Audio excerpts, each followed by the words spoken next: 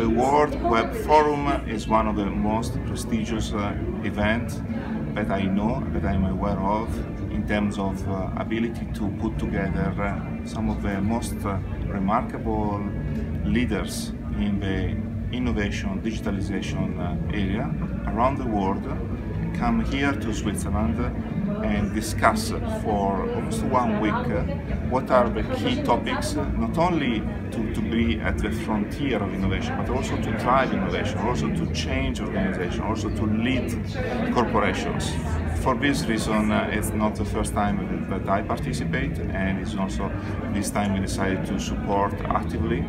it's, I think it's a very, very important uh, role that this event, this forum is playing into the field of digital innovation.